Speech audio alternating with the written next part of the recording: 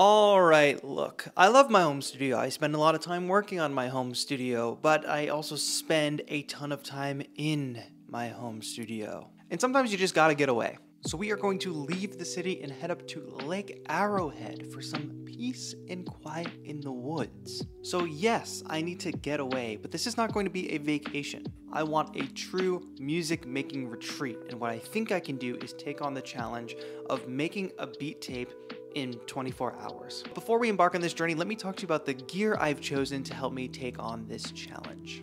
First up, I'm not going on a plane so I can bring a bigger keyboard with me. Let's bring the Launchkey 37, which is probably my favorite MIDI keyboard for like a full-size one at the moment. Ableton Push 1, why, Taetro? Why Ableton Push 1? Because I can. And here, the Portacapture X8. This is going to be a field recorder. It can also work as a USB microphone and an audio interface. So it's like a perfect multi-tool to bring in on a trip like this, whether I want to record some samples, go do some field recording, all that, I can do it here but maybe we'll want to do some tape sampling. So for that, I'm going to bring this uh, new or, or new to me, I guess, but it's a micro cassette recorder that you can even change the recording speed and playback speed on. So I think we can have a lot of fun with this. I've also got a few extra tapes.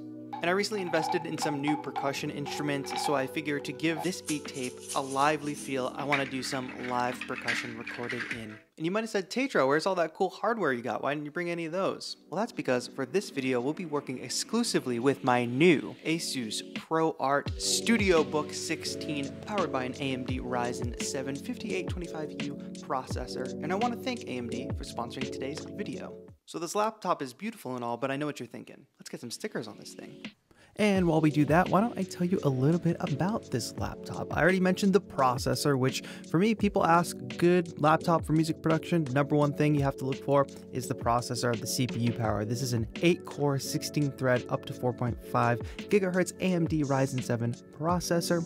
Uh, we've got an NVIDIA RTX 3060 graphics card in this thing with 16 gigabytes of DDR5 RAM, which is actually double what is required for Ableton Live. So we should have no problem with some hefty, hefty plugins. It's got plenty of great ports. I've loaded this thing with some of the most intensive uh, plugins that I regularly use, and I have no doubt that we'll be able to put this thing to the test, and we'll see how it performs over the course of the challenge. So let's pack this thing up and get on the road.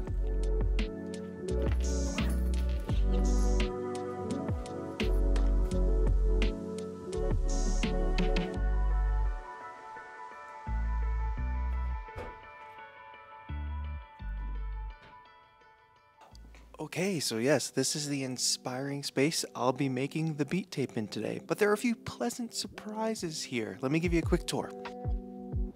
First off, there's like little hidden instruments all around this place. We've got this singing bowl here, followed by this random kalimba that I found, which is pretty cool. Not quite in tune, but still cool. And I didn't have to bring my own frog, there's a frog here too. Awesome little classical guitar, which sounds really nice and warm. Definitely want to sample this. And yes, you did see a trumpet on the wall. I'm not going to play it because I think somebody actually uses this trumpet and the valves are also a little stuck. Need some oil. Alright, so obviously this is a really inspiring spot to be making music in, but there's just one problem. I haven't started making any music yet. So let's get started. And this, I think, is a pretty nice setup with a great view. All right, time to get started here. I'm gonna just start building the idea for the intro track of the beat tape. So I have this vision to start the beat tape with this, this, dreamy intro mood. And one of the first libraries that I haven't really used before from Native Instruments is the Piano Colors library. But we're going to be putting this laptop right to the test because loading up some of these Kontakt libraries uh, is not an easy task for many CPUs.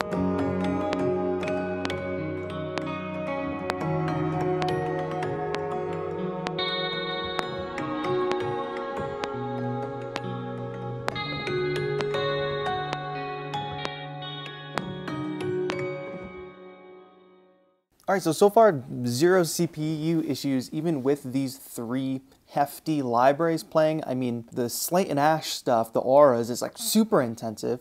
Plus, we've got session guitarist and piano colors. Very hefty stuff. We're having no trouble playing in real time, but I think I know where I want the drums to go, so I'm going to work on that next.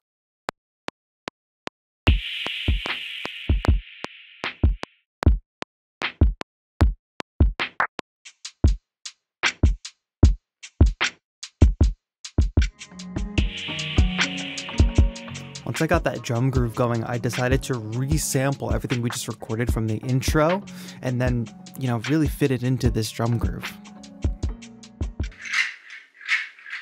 Of course, I brought all these percussion instruments. Let's go ahead and record them to add to that groove. Alright, status report. I just got done with the uh, intro track of the beat tape, and I'm really glad that it evolved in the way that it did. Topped out at about 33 tracks, and I did multiple, multiple layers of Kontakt, especially that session guitar for those guitar layers at the end. I can't wait for you to hear it. I've got stuff like Arturia's augmented voices. I've got a Juno synth in here, multiple Kontakt. The bad news is that took me maybe three hours. So we really need to get into the next track. All right, to switch gears completely here, let's pick up the little tape recorder and record some acoustic guitar. I figure we could do some tape sampling on this one.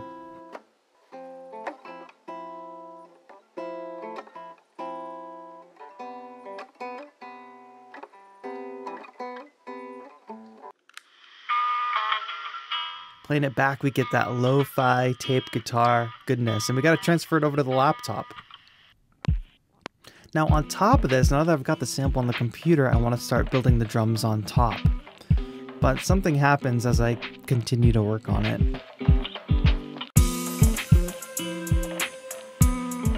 I'm happy how these drums are turning out, but as I'm working through this process, I'm realizing this isn't the vibe I want to go for for this beat tape. So I abandoned the guitar part and kept the drums. And I think this is important. If something's not working or if you're just not feeling something, abandon it and strip it for parts. You've got the drum part, let's move on. Let's add something new. Finally, I found this blank forms sound from the Spitfire audio library that he did. It just fits perfectly with these drums. But I wouldn't have gotten to this drum groove had I not started with the tape guitar sample that we used in the first place, even though it got thrown away. So it's important.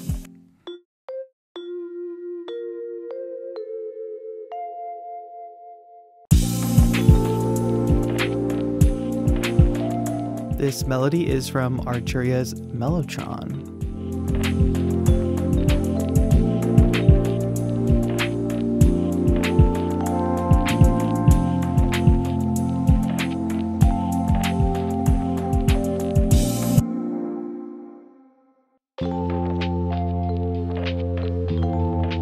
When building these tracks, one thing I'm paying special attention to is early in the creative stage building some type of B section, not just staying on one loop for too long, but using all the instruments to create a new section.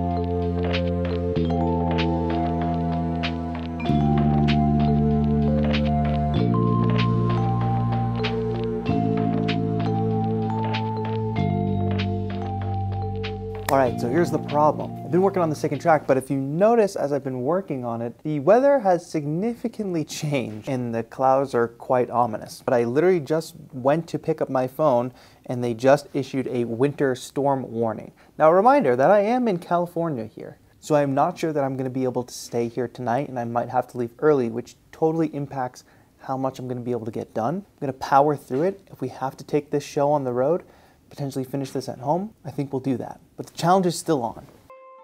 Since we didn't actually use the guitar before, I really wanted to make sure it was incorporated in some way, so I just went back to sample it a little bit more. Alright, I must come to the reality that I do not have much time left here if I want to get out before this giant storm. So I do not think that it is likely that I can finish an entire beat tape while here in the next few hours. But what I would like to do is at least have four major ideas by the time I leave here. And then we'll head back and wherever I end up tonight, whether that's off a cliff or in a snowbank or maybe back at the Lo-Fi Lounge, we'll put the finishing touches on, complete some arrangement, do a little more uh, bells and whistles, that sort of thing. Let's just hope I make it out alive. With no time to spare here, getting right into the third track. And since the first two tracks have been relatively high energy, I wanted to do something a little slower, a little more melancholic for this third track. Every good album or mixtape or whatever has a good ballad, right? The sound here is from Spitfire Audio's, uh, or Labs actually, tape cassette piano.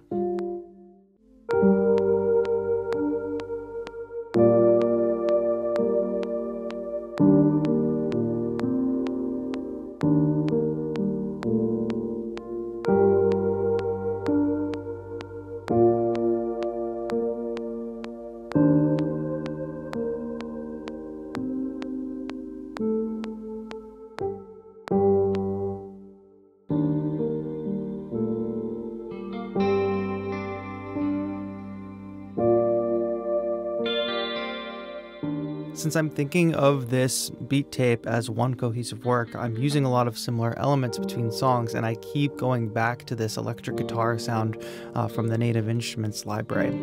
It just sounds great.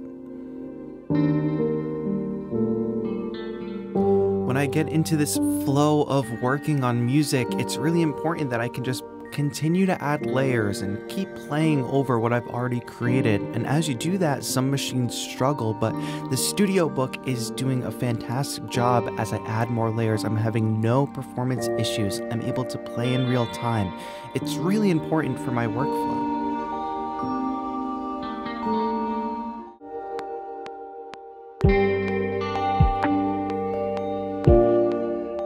If part of me creating this sad vibe was me dealing with the fact that I would have to leave this beautiful place early.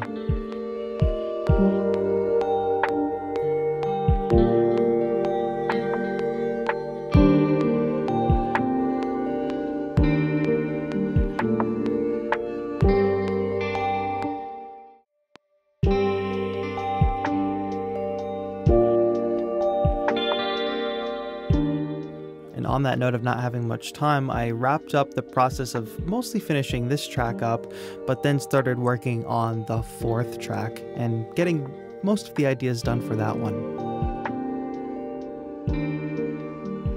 Ah, okay. As you can probably see, the evening is upon us, so it's gotten quite dark, and the wind has not died down one bit. That storm is coming in. But before we leave this cabin sanctuary in the woods, I wanted to just play you all a snippet of each of the tunes because I've got all four now. I just worked on beat number four off camera, and they're nowhere near finished. I got to mix and do some arrangement work on some of them, but I just want to give you a little taste of the feel of this beat tape before we head back to the Lo-Fi Lounge and put it all together. Here's the opening beat, the first one we worked on today.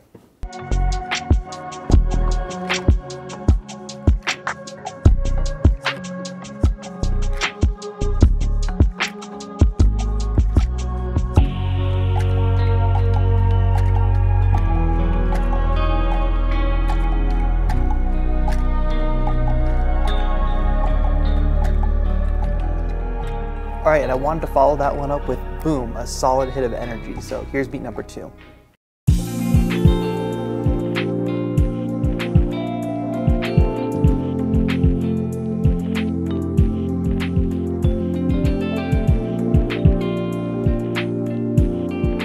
All right, and after that, time to slow things down. I went into this wanting to do a beat in 3-4.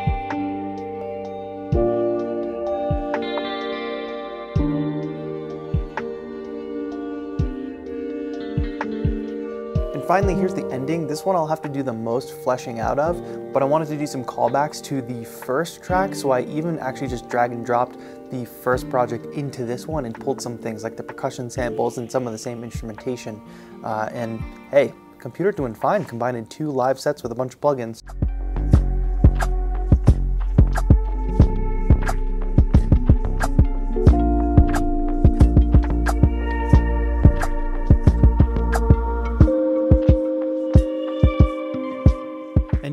Didn't start snowing yet, the drive home was so foggy it was kind of hard to see even the next car in front of you. And you can see it's just a windy road with the icy signs all over the place, but I'm glad I left early. Here's what it looked like the next day.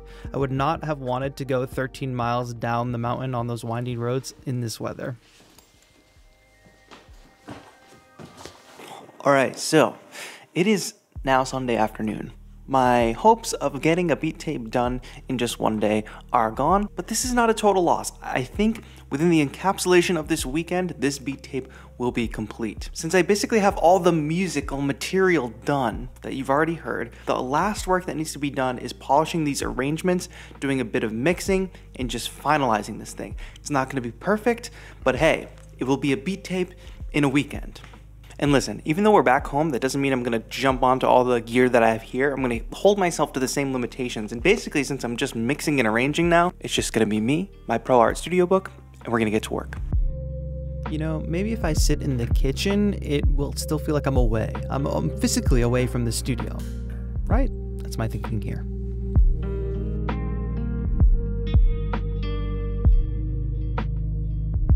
So after I finish all the mixing and arrangement work, I'm finished, right? Upload them to Google Drive and we're done, right? No.